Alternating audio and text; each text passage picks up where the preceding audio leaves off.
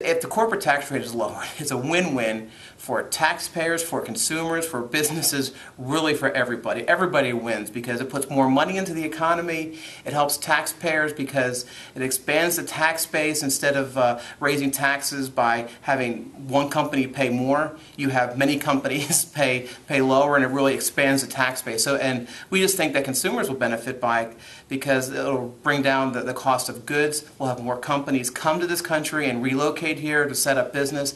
There's really no downside to lowering the corporate tax rate. If you look at the economy, you look at unemployment, and we're just, you know, we're trying to get out of this funk as a, as a country with this economy.